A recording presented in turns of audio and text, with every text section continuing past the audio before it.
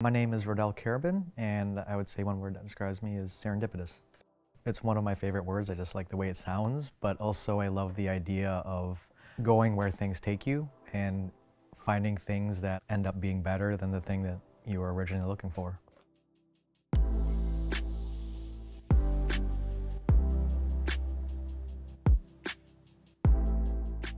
My role at the American Alpine Club is the BIPOC Initiatives Chair for the Twin Cities chapter of the American Alpine Club. Just gathering up some stoked folks and going out to local crags and hosting and organizing and planning BIPOC community events.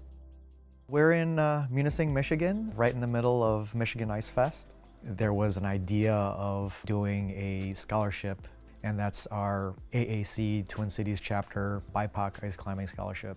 My running joke with my family in the video game Super Smash Brothers, my main characters were the ice climbers. When Rodell told people about the scholarship, I said, oh wait, this is my chance to actually like do what my video game characters are doing. It's, it's serious business when these are locked and loaded. They are locked and loaded. Look at those things. I can't get my feet out. Yeah, they're not coming out. They're staying in there.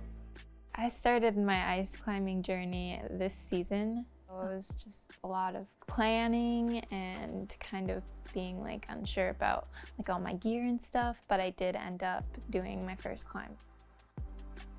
To stick the tool into the ice the first time was super exhilarating. It was pretty exciting. Yeah, Jada. Oh, I like beautiful. To have something in my hand that like was kind of a separate part of me was a little strange, but once it actually got stuck, it just felt felt empowering more than anything. Made it to the top with better technique. I find I am someone that kind of stands out in these types of communities in this type of a crowd. And I think about why. Yeah. Uh, Good job, Jada. Nice, Jada. Ah, thank you. Especially with ice climbing, one of the biggest barriers is how much stuff costs. When I started at the club, we just wanted to appeal to climbers. And even 10 years ago, appealing to climbers was a very specific thing. Ice climbing and climbing has been particularly more so challenging being a person of low income.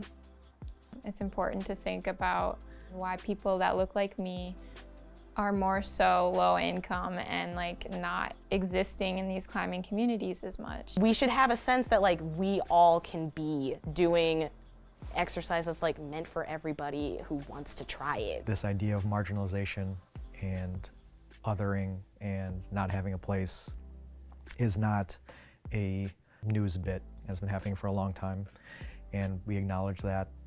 We're putting resources and real thought and intention behind diversity and inclusion and justice.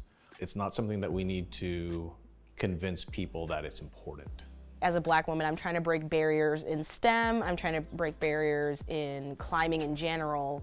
My life's goal is not to like be the best climber out there, just to be the best climber in my eyes. I'm expressing myself by climbing the way I want to climb.